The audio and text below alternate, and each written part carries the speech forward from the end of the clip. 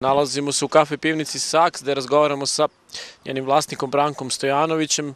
Branko, evo svedoci smo da je proleće konačno polako stiže i jedna od najlepših terasa koje imamo u Vrničkoj banji je napokon je otvorena, evo tu su i, i posetioci. To je jedna od, mislim, najlepših ponuda koje kafe Saks ima. Hvala vam na tome, jedna od najlepših bašti.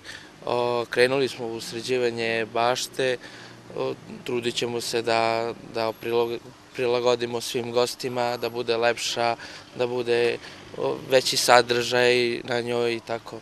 Ovaj, krenut ćemo u sadnju cveća. Jedna od specifičnosti uh, kafe pivnice Saks je da ona, bar ovaj njen zatvoreni deo nije toliko veliki, ali upravo ga zbog toga krasi uh, neka vrsta ovaj, neposredne atmosfere i uvek dobrog, uvek dobrog provoda. Vi ste tokom zime dosta dobro radili, da, da kažemo, i bili ste lepo posećeni. Ja mislim da je zaslužena za to muzika. Ovaj, prvenstveno mi se bavimo uh, nekom alternativnom muzikom, jazz, blues, funky, uh, rock, tako da uglavnom muzika je ta koja krasi ovaj lokal. Jedna od odlika vašeg lokala je to da imate vikendom i žive svirke. Pa tokom zime smo imali mahom akustične dvojke.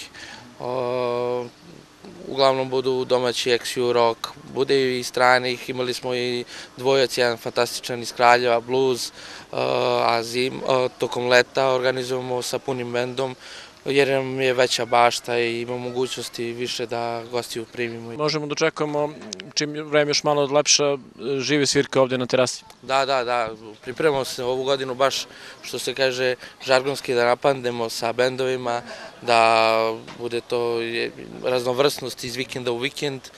E sad, ako nam vreme dozvoli, jer kako nam nalažu vremenski uslovi, tako možemo i mi da organizujemo. Još jedna stvar po kome je kafe pivnica Saks poznato je jako lep e, i bogat izbor piće. Pa jeste, uglavnom lager piva mahom imamo sva što se može naći na našem tržištu. Jedino sad imali smo kraft piva od jednog proizvođača kabinet. Ove godine ćemo ih vratiti i u pregovoru smo, smo sa još jedno dve jake pivare u kraft pivarstvu, tako da nadamo se ove godine će baš biti veći izbor piva. To je vrlo zanimljiva tema, vi ste među prvim lokalima u Vreničkoj banji koji, koji je imao kraft piva. Koliko je interesovanje realno među vašim posetnicima za kraft pivima? Pa u početku, u početku i nije bio nešto. A kako vreme, kako vreme ide, kako se ljudi ovaj, uh, koliko shvataju u suštini šta je pravo pivo i od čega se sastoji pravo pivo, ovaj, sve više i više potražnja za kraft pivarstvom i sve više i više piju ljudi. Jedan od trendova koji je dosta lako da se primeti, bar kada reč o gostiteljstvu kod nas, pre svega o kafićima i o pubovima, je to organizacija kvizova.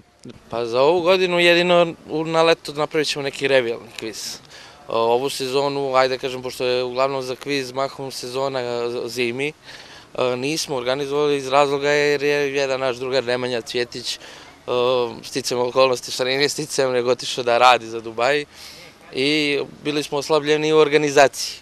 Ali da bi se odužili našim kvizerima, ovaj, napravit ćemo letos jedan revel i onako veći kviz, pa se nadamo na zimu i da krećemo novu sezonu sa kvizom.